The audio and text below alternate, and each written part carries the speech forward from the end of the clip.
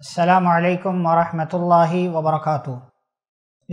वस्सलातु वस्सलामु अला रसूलिल्लाह नबीना मुहम्मद वाला आलिहि व अस्हाबिहि व मवाला अम्मा बाद मुअज़्ज़ज़ हाज़रीन बहुत सारे लोग समाज व माशरे में हमारे दरमियान ऐसे बसते हैं और ऐसे आबाद हैं कि जो साल भर के महीनों में से किसी महीने को या किसी दिन को या तो मनहूस समझते हैं या तो अपने लिए बुरा समझते हैं, या तो उस दिन को या उस महीने को गम का और अफसोस का दिन समझते हैं या खुशी का दिन समझते हैं। ये बदअकीदगी या ये गलत तस्वुर ये गलत ख्याल हमारे समाज व माशरे के बहुत सारे लोगों के दरमियान और हमारे अपनों के दरमियान मौजूद है।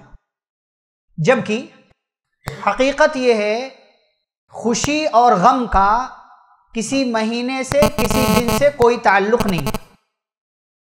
ना आपकी ज़िंदगी में किसी दिन का आ जाना यह आपके लिए खुशी का बाइस है। ना आपकी ज़िंदगी में किसी दिन या महीने का आ जाना यह आपके लिए गम का सबब है। बल्कि इंसान का अपना अमल, इंसान की अपनी हरकतें, इंसान के अपने अमाल, उसे खुशी या गम का मौका फराहम करते हैं।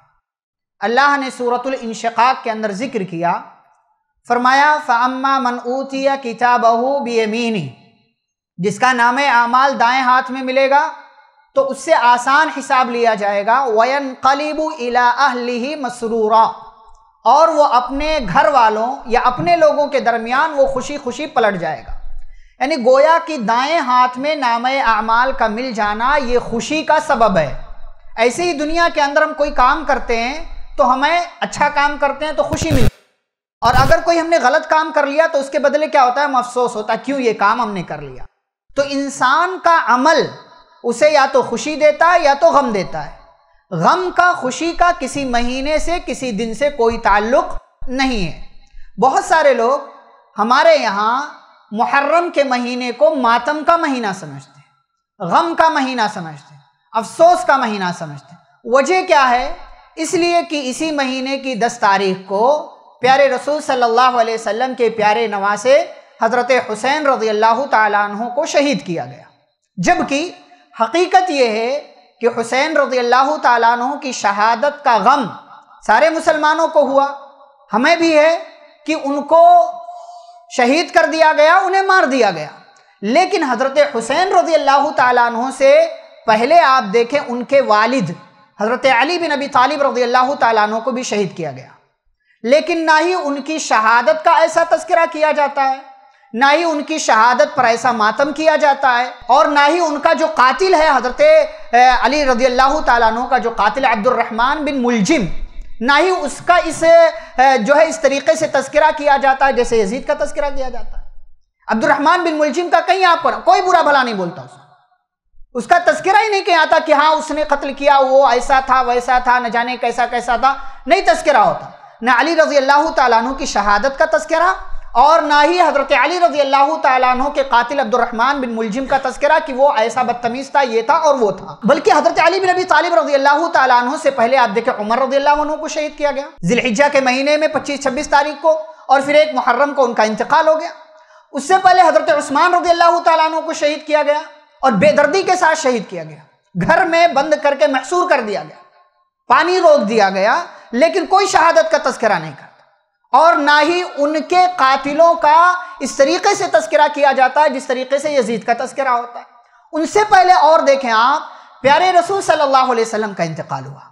अगर कोई दिन, कोई महीना अगर गम का या अफसोस का हो सकता था तो वो प्यारे रसूल सल्लल्लाहु अलैहि वसल्लम के इंतकाल का दिन हो सकता लेकिन सहाबा ने गम नहीं मनाया। ठीक है, गम हुआ, दिल को बुरा लगा, लेकिन जो हकीकत है उसको कबूल करना। और वैसे भी हदीस है कि किसी को भी इजाज़त नहीं है कि वो किसी भी मैत पर तीन दिन से ज़्यादा सोग मनाए, तीन दिन से ज़्यादा मातम करे। और प्यारे नबी सल्लल्लाहु अलैहि वसल्लम ने एक हकीकत और बयान की, उम्मत के लोगों की, कि मेरी उम्मत के अंदर चार चीज़ें हमेशा रहेंगी लायत रुकू नहुन्ना और मेरी उम्मत ये चार चीज़ें कभी नहीं छोड़ेगी। नंबर एक, अपने खानदान पर फख्र करना। नंबर दो, दूसरे के खानदान में कीड़े निकालना, बुरा भला बोलना। नंबर तीन, सितारे को देख करके बारिश तलब करना। और नंबर चार वनियाहत मैत मैत पर नौहा करना, मातम करना। और आज ये उम्मत और उम्मत का एक बड़ा तबका किसी की मैत पर किसी की शहादत पर मातम करते हुए प्यारे नबी सल्लल्लाहु अलैहि वसल्लम की पेशन गोई को सच साबित कर रहा है, लोगों को समझना चाहिए, होशियार होना चाहिए। इसी तरीके से, मेरे भाइयों, गम मनाने या मातम करने की इजाज़त नहीं है।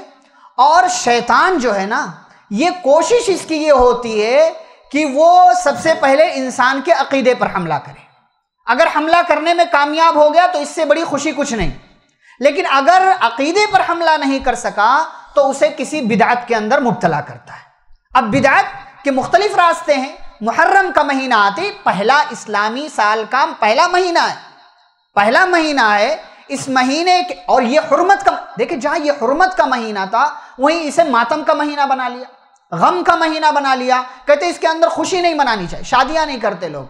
कोई तकरीब नहीं करते। डिले कर देते हैं उसको। बच्चा पैदा हुआ, अकीका नहीं करते उसका। इस महीने के अंदर, कोई शादी नहीं करते। ये गम का महीना है, अफसोस का महीना, बुरा महीना, मनहूस महीना। इसके बाद वाले महीने के साथ भी यही सलूक किया जाता है, सफ़र के महीने के साथ भी।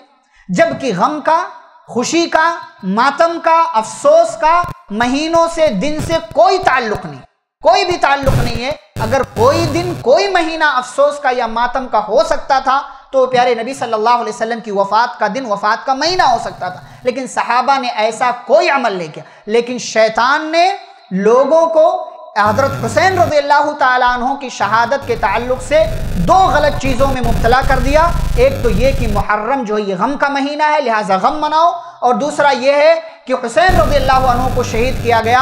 उनकी शहादत का मातम होना चाहिए और उम्मत मुख्तलिफ़ तरीक़ों से हज़रत हुसैन रज़ी अल्लाह तु की शहादत का मातम करती है।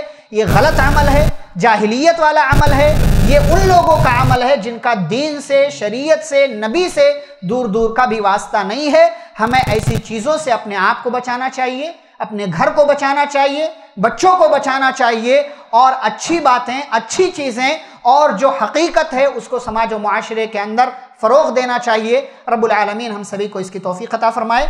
आमीन। वसल नबी करीम। अल्लाम वरहमल वर्का